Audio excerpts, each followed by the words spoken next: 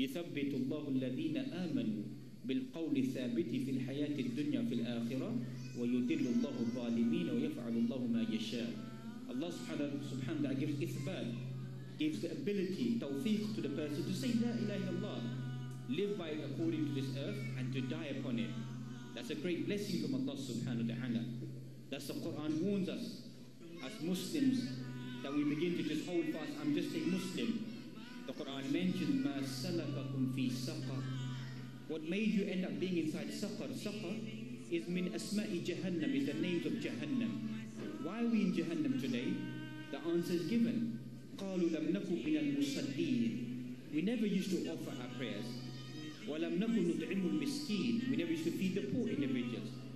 وكنا نخوض مع الخائضين وكنا نكذب بيوم الدين حتى أتانا اليقين. shallow understanding. I don't have the dunya. I have no possession of this dunya. And what do these people possess? This world is nothing in comparison to the akhirah, except for dip your finger in an ocean.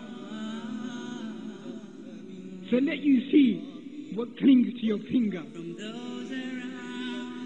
One dip. And that ocean is paradise. That full dip that we rejoice in on a daily basis. Fattaku dunya. This world is a lush green place. That's the Prophet Muhammad